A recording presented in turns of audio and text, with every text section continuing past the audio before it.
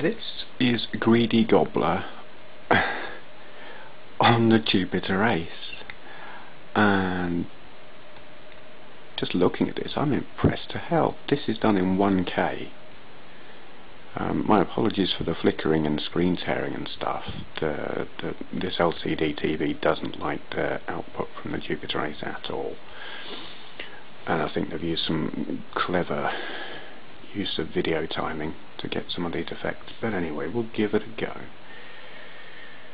Um, goodness. Oh. That's not easy. Oh crap. Oh dear. Oh dear, oh dear. was pretty poor.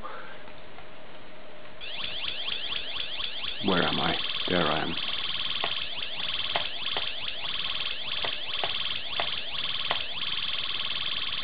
Come and get me. Gotcha.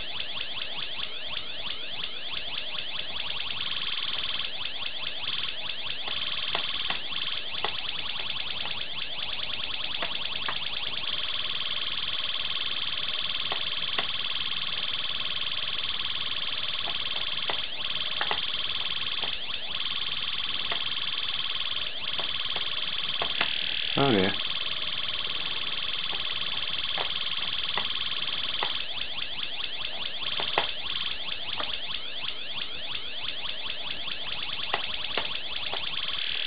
Oh.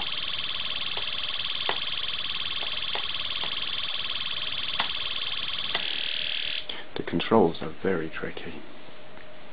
Yeah, anyway, there you have it. It's it's Pac-Man, but it's in 1K or 3K if you want to count the 2K of video RAM. Jupiter Ace is a weird like that. Very, very, very impressed. It's hard because the controls are in a really difficult position and the keyboard itself is uh, well